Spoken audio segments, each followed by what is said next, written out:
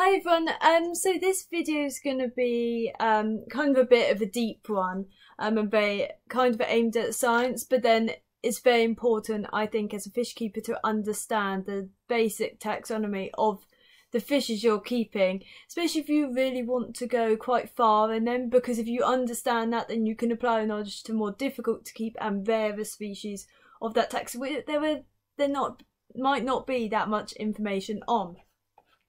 So I'm talking about plecos and I'm defining them kind of as Loricaria. So Loricaria is, as I said, a family. So a family is, which makes it a lot more easier as it's known as well, it's kind of a monophyletic. So the category plecos, I'm saying, is all species within the family um, Loricaria, which doesn't include any other family or taxa as we call it, taxa meaning like group. Loricaria are a family within the order Siluriform, Siluriform being the catfishes, so they are definitely catfishes. Um, and Loricaria are defined generally by having a depressed body covered in bony plates. They're not scales. Catfish do not have scales. These are dermal plates, also known as. So it their mouth can be modified to a suction, well, is modified to a sort of suction cup, and this you see across the whole taxa to different extents and levels depending on their ecology. So you could say their niche, because not all are going to be rasping on surfaces. Some are sort of um, substrate substrate dwelling, particularly Loricaria, which I'll talk about later. So, Loricaria contains currently 1001 valid species, currently described species, and this is according to Catalogue of Fishes, which is a scientific database of all the described valid species. And this is extremely important because there are synonymizations. So, one species might be synonymized, become included in another, if you get what I mean. So it's often good to know what you're all talking about because scientific names are universal. So they're the same no matter where you are in the world. And in the last 10 years, 222 species have been described, which is a lot. And from memory, there are about 350 currently described species of primates. So this family outbeats like primates, which is a bigger category from memory, and it's a lot. So there's a whole wide of diversity. Their sizes range from anywhere between 1.8 millimeters standard length, so that excludes a tail, all the way to um, a meter long in according to hobbyist records, or half a meter in scientific records standard length. So including the tail, you're looking at a meter and a half easily or even two meters because um, Acanthicus adonis has quite long tailix um, extensions and that is why we don't really use standard uh, total length because those tail extensions on some Loricaria can be quite impressive. Take a look at Panaqolus albivermis, your flashplex, and quite a few Panaqolus are quite impressive there.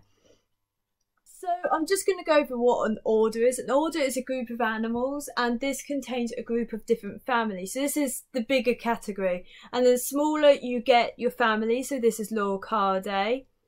And this contains an even smaller group. And then the smaller group is a subfamily. And smaller than that you get the genera. So these are um, there's sort of a group of species.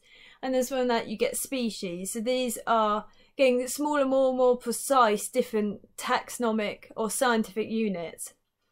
So I'm going to go over, well, I've gone over Loricaria, but Loricaria has six subfamilies. So these are six units, scientific units of different fishes, and these are important because there's quite a lot of difference between them, and some you don't see, but I'll mention them anyway because I can't really miss them out.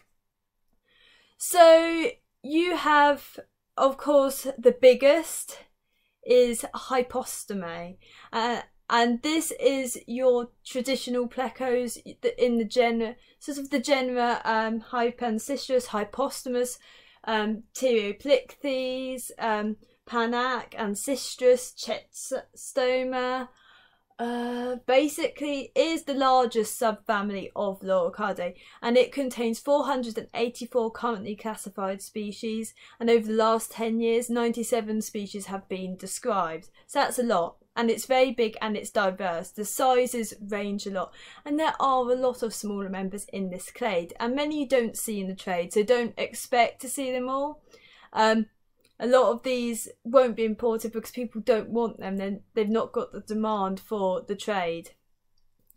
And the price ranges do vary a lot. So these are the ones which can reach insane prices or very minimal. So you can expect to pay 50p all the way to £2,000 or more depending on your country. So they can be extremely pricey or extremely cheap. And that's because of the diversity and hypostome is described um oh defined into different tribes, but these tribes depend on what you're reading, what scientific papers. So I won't go over them. But for maybe there is astri um Ancistrini, um Pterygoplichthyini, hypostomini are the ones I see quite often, but it really varies. And I'll put a few papers below that are really interesting if you want to learn about Loricariidae as a whole. So the next subfamily I'm going to go over are, well I'm going to go over three that are, you don't really see in the trade and they're very small. So this is, the first one is Delturinae and this contains seven valid members and none have been described over the last 10 years. These are ones you might see a few in the trade but they're not particularly common. Rhinelepinae is commonly, well the one, I mean the one that you commonly see would be Pseudorinelepis genibarbis or the um, L95, I believe, is the other one. Um, and these are very similar to hypostome. They're quite deep. They have a modified swim bladder and there's six valid members. And they're more undescribed as there are with all of Loricariidae. So many yet to describe. Um, next is Lithogeninae. Um, I've never seen them. There's three currently described members, more to be described, but none of these three have had any described in the last 10 years. So it might just be lack of funding or they're not particularly common. It could be a whole load of different reasons. So the next two are other ones you do see, and this is why I argue that Plex should cover the whole category, because always you're picking and choosing different members, because then you're saying um, Otocinclus aren't, but pseudorinelepis is, and you can't really shouldn't really do that because otherwise it depends on who you're talking to. So next one is Loricariinae. This contains 252 currently classified species with 31 described over the last 10 years. This is your very elongated, sort of skinny usually, um, Loricariidae. Um, and the the typical ones you will know are your Sturisoma, your Farlowella, um, Pseudo, Hemiodon, um, Planiloricaria. So they do have a lot of diversity in sizes, and this is one of the larger um, taxa, the second largest subfamily. And they can range from ones that you will see on the glass, if you get what I mean. So your Farlowella, Sturisoma, the ones that are rasping on a on an object, to the ones that are substrate dwellers. So this is your pseudo hemiodon, your um, uh, Planiloricaria. And these have quite ornate mouths because these, the ones that are in the substrate, they do actually, quite a few use those mouths for their brooding and the males will carry the eggs on their beautifully ornate mouths. So they are a really interesting group but they're ones that I don't really dwell into too much and they're not always as common. Um, the diversity isn't always easy to find um, and some can be a bit of a challenge but it's the same for a lot of Loricariidae. So the next one is your, you probably have seen these but you haven't seen many of them. So this is Hypo, Hypoptopominae and this is the one that is quite a mouthful. So these have this subfamily has 247 currently classified species within, and 992 have been described within the last 10 years. So they're quite big.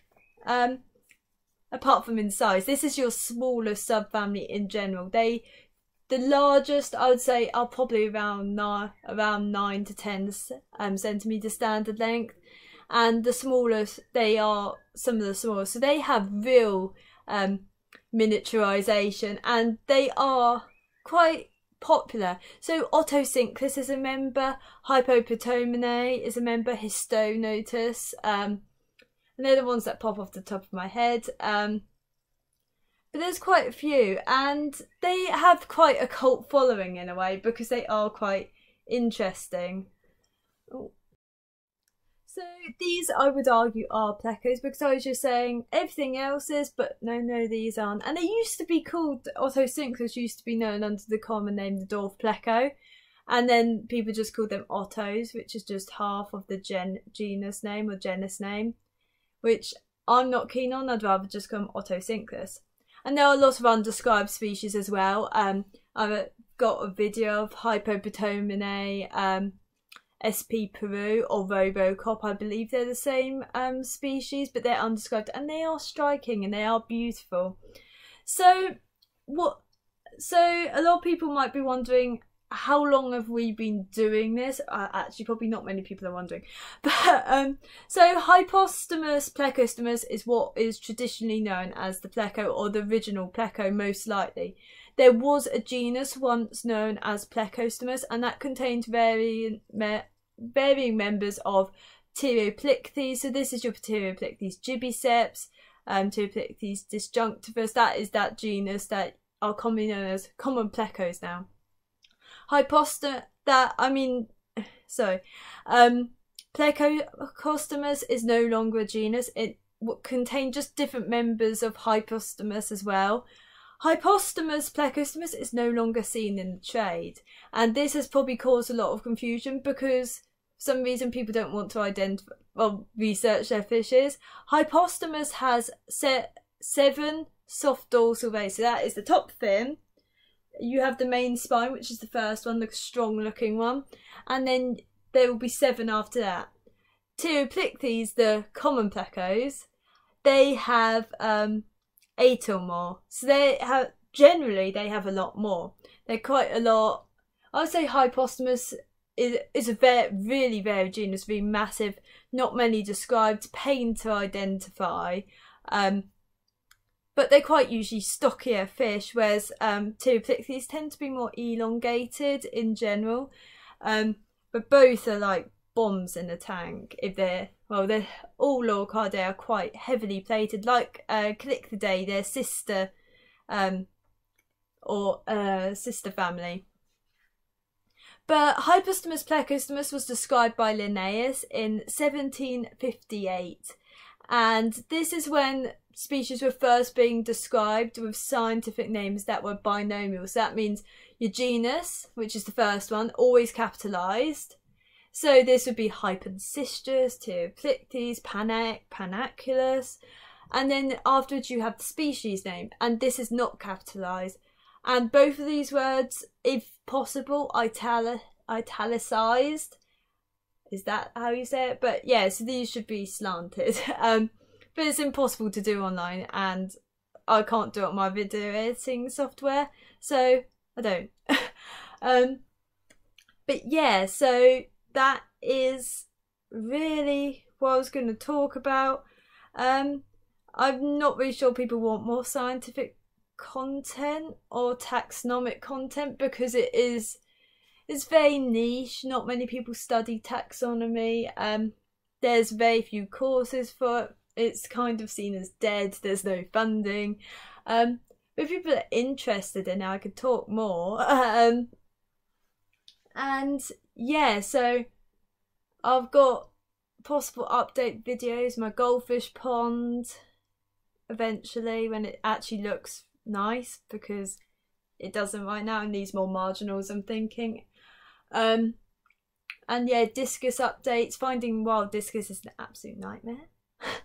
um especially at the moment there's no Brazil import Brazil exports. So yeah, so I'll see, and I'm tempted to set up the other tank for Discus and possibly rehome my Satanoperca leucosticta. I'm not really sure. But I do really want, I do like my Xeno Xenomystus nigri. They're getting, well, they're getting bigger, not that big, but yeah, I see them out more. Anyway, thank you for watching. Um, if you like my videos, comment, um, like, subscribe. It's up. I don't mind. I'm not here really. I'm just here to talk, really, more than anything. Um, because I do that a lot. Anyway, thank you.